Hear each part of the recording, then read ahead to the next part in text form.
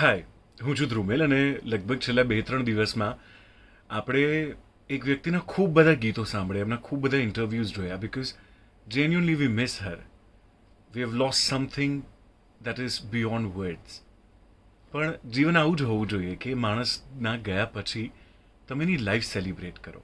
That is what we are doing we are celebrating Lata Didi and there are a few things about her જે public ડોમેનમાં કદાચ ખૂબ ઓછા લોકોને ખબર હશે.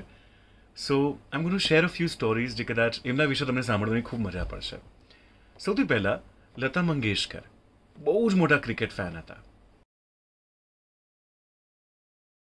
નાઇન્ટીન એટી થ્રીનો વર્લ્ડ કપ એમને લાઈવ જોયો હતો. She was present well the world cup was being played અને જ્યારે ટીમ પરત ભારત લોટી, ત્યારે બીસીસીઆઈ આટલું ધનિક નહોતું જેટલું આજે છે. So BCCI did not have that amount of money કે પ્લેયર્સને ગિફ્ટ તરીકે આપી શકે ત્યારે લતા દીદી ડિસાઇડેડ કે હું એક કોન્સર્ટ કરીશ આ કોન્સર્ટના મ્યુઝિક પ્રોડ્યુસર એમના ભાઈ રહ્યા અને આ એક ચેરિટી કોન્સર્ટ રહ્યો and she raised twenty lakhs in that concert જેના થકી બીસીસીઆઈએ દરેક ટીમ મેમ્બર જે એટી થ્રીની ટીમમાં હતું એમને એક એક લાખ રૂપિયા ઇનામ આપ્યું which I think is fantastic Lata Didi પોતે એક રાજ્યસભાના મેમ્બર રહ્યા છે. From nineteen ninety nine till two thousand and five છ વર્ષનો એમનો કાર્યકાળ.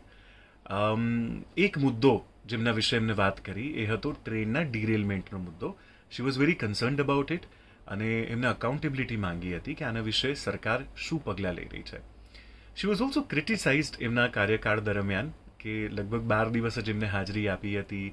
ઇન્ડસ્ટ્રીના ઘણા બધા ઇશ્યુઝ જ્યાં રિપ્રેઝેન્ટ કરી શકતા હતા એમને કર્યા નહીં.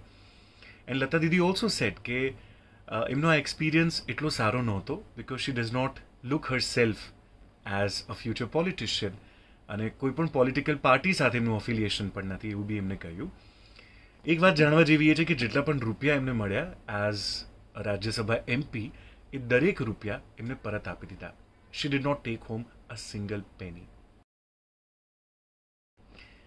એ સિવાય એક બીજી બહુ ઇન્ટરેસ્ટિંગ સ્ટોરી છે about Filmfare awards so I assume it was somewhere in nineteen fifty six જ્યારે લતા દીદીએ જે ફિલ્મ માટે ગીત ગાયું હતું, એ ફિલ્મને અવોર્ડ આપવામાં આવી રહ્યો હતો.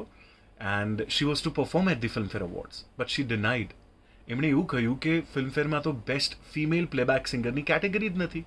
તો હું નહીં ગાઉં. બે વર્ષ પછી ફિલ્મફેરે આ કેટેગરી ઇન્ટ્રોડ્યુસ કરી. જ્યારે અવોર્ડ લતા દીદીને આપ્યો, તો લતા દીદીએ એવું કીધું, આ તો નગ્ન સ્ત્રી છે. આને હું હાથમાં નહીં લઉં. So Filmfare actually wrapped around a cloth on the award and presented it to her. And then she almost dominated the awards.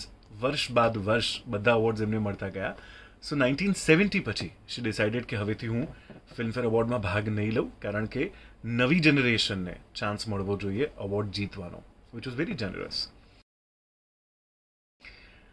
she also demanded for equal pay in the male dominated society and especially music industry wherein you know you hardly heard names of women in those times lata didi demanded equal pay 500 rupiah per ગીત એનાથી ઓછામાં નહીં જ ગાઉં letter on દસ હજાર વીસ હજાર પચાસ હજાર and the the money went on અને at the very same time જે પ્રોડ્યુસર પાસે પૈસા ના હોય એ પ્રોડ્યુસર માટે ફ્રીમાં પણ ગાતા હતા so these are few of the things જે કદાચ આપણને એમના વિશે ખૂબ ઓછી ખબર છે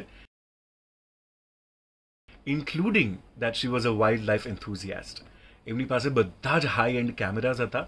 લંડન એમનું બહુ મનપસંદ શહેર હતું apart from many other cities in the country અને એ ફોટોગ્રાફી કરતા હતા. આઈ રિયલી હોપ દેટ એમનું ફેમિલી જે છે એ લતાદીના પાડેલા પિક્ચર્સનું એક્ઝિબિશન કરે so that the world can also witness that how talented of a person she was we will always miss Lata didi પણ એમનું સંગીત જે છે એ અમર છે.